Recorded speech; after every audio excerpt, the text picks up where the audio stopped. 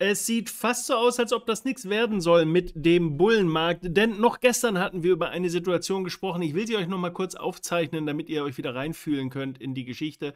Vom Tief alle Werte, die ich euch jetzt sage, hier auf den Future berechnet beim S&P 500. Einige haben sich gewünscht, sagt doch mal die Werte.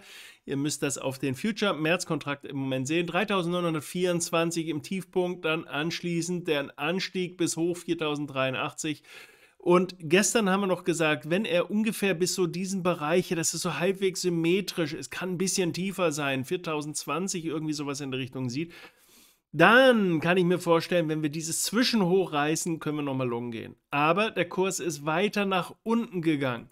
Also insofern hat sich dieses Bild eigentlich erledigt. Im Gegenteil, es sieht sogar sehr schön aus, nur halt blöderweise in die andere Richtung. Warum sieht es schön aus?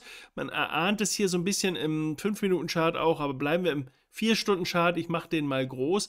Wir hatten eine starke Abwärtsbewegung, wir hatten eine wackelige Aufwärtsbewegung, einen Schub nach unten, wieder eine wackelige Aufwärtsbewegung, nochmal Schub runter.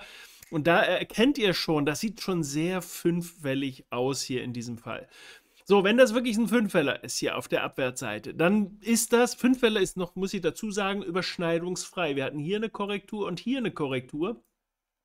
Und diese Korrekturen, äh, Korrekturen überschneiden sich nicht. Das ist ein gutes Zeichen, dass es eine Haupttrendrichtung ist. Also sprich, dass die Abwärtsseite aktuell die relevantere ist. Das heißt nicht, dass der Kurs wieder drehen kann.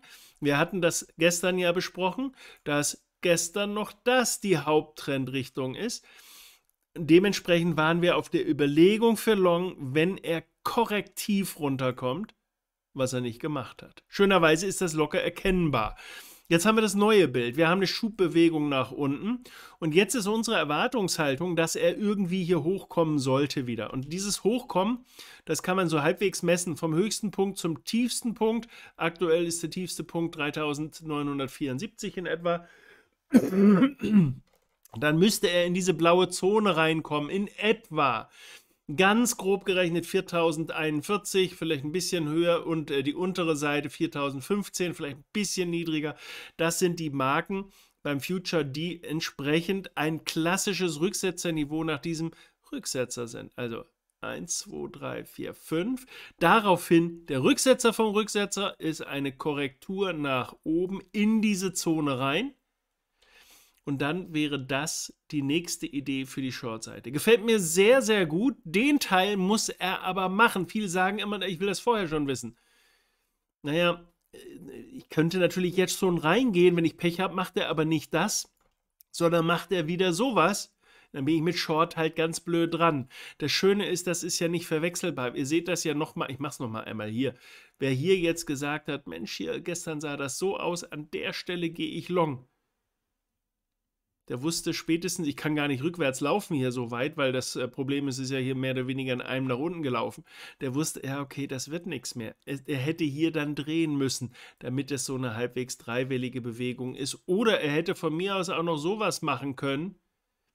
Ja, aber auch das ist nicht verwechselbar mit der Geschichte. Also ihr seht schon, man, wenn man ein bisschen das äh, Auge dafür entwickelt, wie eine Korrektur aussieht, eben dreiwellig oder mit Kursüberschneidung, ist es eigentlich relativ klar abgrenzbar. Meine Zusammenfassung der aktuellen Situation ist, meine Erwartungshaltung wäre, dass wir in Bälde, nicht zwingend jetzt sofort, aber in Bälde in diese Aufwärtskiste, die ich eben genannt habe, reinlaufen. Wir können das gleiche beim Nasdaq nochmal eben sehen. Ihr seht, das Bild ist nahezu identisch, allerdings die interne Struktur ein bisschen verworren.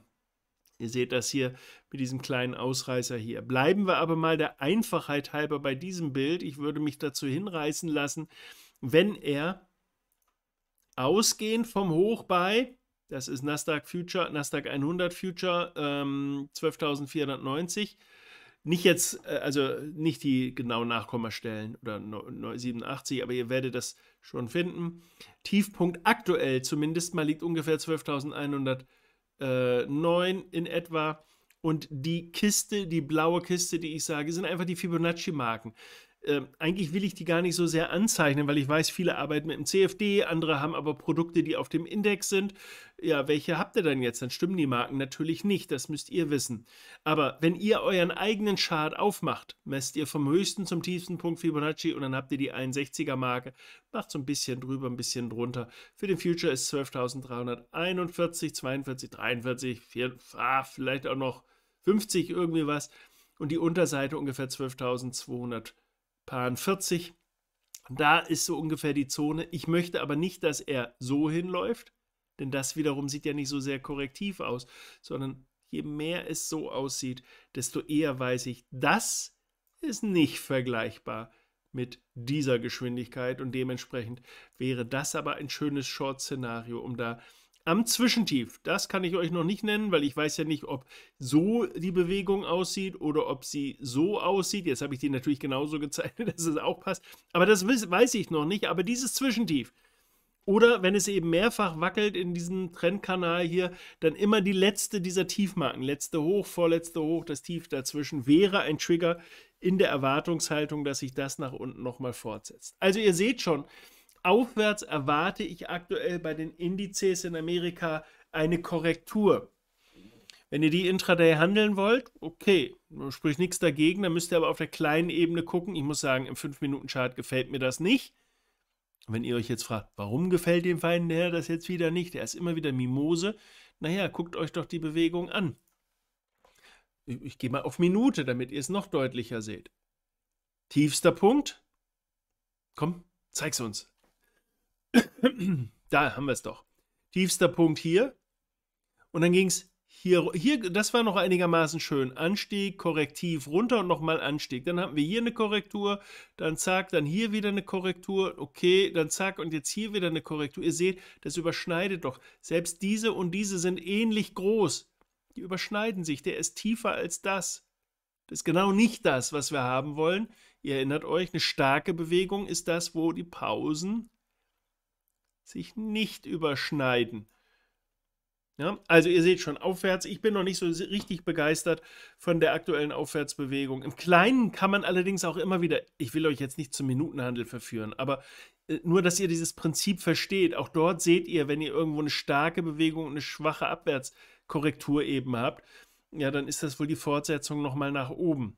Ja, also insofern, das kann man hier natürlich analog anwenden.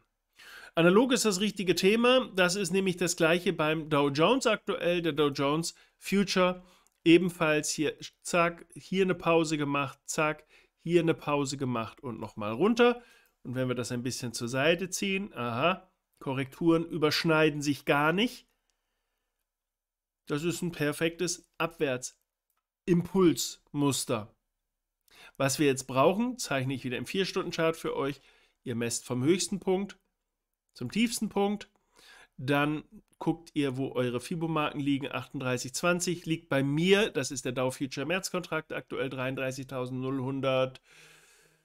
Ah, sagen wir 60 oder 55, 50 wahrscheinlich auch noch und die Oberseite vielleicht 33.280 in etwa. Also ihr seht, ich habe ein bisschen oben und unten immer dazu addiert.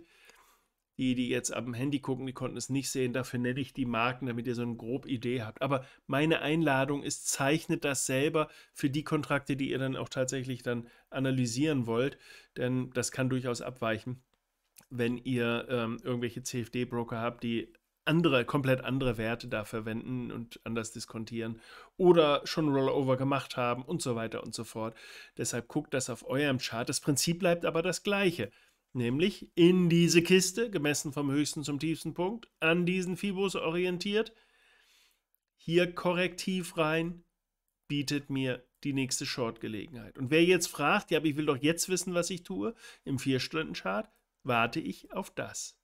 Und wenn er das nicht macht, dann mache ich nichts. Dann warte ich auf den nächsten Trade, der dann mir hier irgendwie sowas dann vielleicht macht. Keine Ahnung. Oder von mir aus, der dann sowas macht. Ja, so, und wenn ihr jetzt sagt, aber vier Stunden, das ist ein bisschen undankbar, wenn ich dann so lange warten muss, richtig, dann geht ihr auf die kleineren Ebenen und guckt auf der Zeitebene, die für euch noch passend ist. Und dann seht ihr hier im 5-Minuten-Chart ist das noch Geholze. Das ist wie auf dem Bolzplatz, wo ohne Schienbeinschützer hier wie wild reingegrätscht wird. Da sind beide Seiten nicht gewillt, irgendwie was Vernünftiges mitzumachen. Ja, dann machen wir die Schlammpathie, lassen wir jetzt erstmal da auf sich wirken, sollen sich die anderen blutige Schienbeine holen. Das ist nichts, wo wir jetzt einen Trade entsprechend platzieren müssen. Insgesamt übrigens, ihr seht das noch, mein Knubbel hier 32.000. Würde mich nicht wundern, wenn wir den auch noch mal ein bisschen tiefer sogar sehen, aber irgendwie sowas in der Richtung. Also da sind noch viele, viele hundert Punkte. Auf jeden Fall machbar, realistisch allemal. Ja, und der DAX? Beim DAX haben wir, das ist jetzt der Index, den ich jetzt hier habe. Ähm, beim DAX haben wir eigentlich eine ganz gute Situation gehabt, bis eben gerade noch. Warum? Denn da hatten wir eine starke Abwärtsbewegung und eine schöne korrektive Aufwärtsbewegung, allerdings nirgends getriggert, ihr seht das. Und theoretisch wäre jetzt das mein letztes Hoch, vorletzte Hoch, das ist mein Short Trigger. Jetzt müssen wir aber eine Sache noch beachten. Nämlich sind wir in der blauen Kiste so halbwegs. Und dann sehen wir, blaue Kiste, sind wir schon drüber hinaus. Ich sehe aber gerade, noch ist es okay für mich. Wir sind noch nicht über der 78,6er Marke. Die liegt beim DAX bei, ich mache es nochmal groß, die liegt beim DAX bei 15.667,5 so ungefähr. Also, wenn er die durchsteigt, also das müsst ihr nicht jetzt Millimeter genau gucken, so genau wird da nicht gearbeitet. Aber wenn wir, je mehr wir die überschreiten, desto weniger typisch ist das. Das heißt, dann will ich natürlich nicht mehr einsteigen. Noch dazu ist von hier bis zu meinem Einstiegspunkt das ganz schön weit entfernt. Denn wir dürfen eins nicht vergessen. Meine Zielerwartung ist ja zunächst erstmal, dass die erste Welle, ist es die erste? Jawohl, der Kurs kam von unten dass diese erste Welle sich nochmal nach unten wiederholt. Und wenn ich hier reinkomme, aber mein Mindestziel vielleicht schon hier liegt, dann ist nur das meine Gewinnseite, aber meine Verlustseite im schlimmsten Fall so, also ungefähr 1 zu 1, boah, das lohnt sich häufig nicht so sehr. Also das ist auch ein Grund, warum ich 78er Marke, wenn er die erreicht oder wenn er darauf zugeht, meistens ist das nicht mehr lukrativ. Trotzdem ist meiner Meinung nach die Abwärtsseite die richtige, sollte er das letzte Zwischentief hier nochmal durchstoßen. Das Tief, was wir hier haben, liegt circa 15.500, na, knapp 80, 78 irgendwie was. Das war am heutigen um, äh, ähm, was haben wir heute, Mittwoch um 16 Uhr. An der Stelle war das Tief. Also wenn wir die durchstoßen, das wäre so eine Art Triggermarke hier für die Abwärtsseite. Allerdings lohnt da der Trade nicht so richtig, weil das CRV nicht stimmt. Da wäre es dann sinnvoll, auf den kürzeren Markt dann einzugehen, zum Beispiel auf den DAX Future, ob er, nicht hier auf Tagesbasis, ob er hier intramäßig hier irgendwie eine Bewegung macht, die vielleicht dann so aussieht, dann kann man wieder sagen, okay, da gehe ich mal auf die Short-Seite. Also solltet ihr das sehen im 5 Minuten, 15 Minuten Handel irgendwie, dann geht das, solange er irgendwie fünffällig hochgeht und wackelig auf der Abwärts ist, aufwärts immer die bessere Seite als die Abwärtsseite. Ja, soweit die Überlegungen dazu. Ich hoffe, ihr könnt damit ein bisschen was anfangen. Ja, zumindest mal zeichnen sich in der nächsten Zeit neue Trades ab mit dieser Idee. Ich drücke euch die Daumen, dass ihr sie rechtzeitig umsetzen könnt, dass ihr es nach eurem Gusto und nach eurem Risikoprofil ähm, gestalten könnt. Dafür drücke ich euch die Daumen, sage alles Gute und liebe Grüße.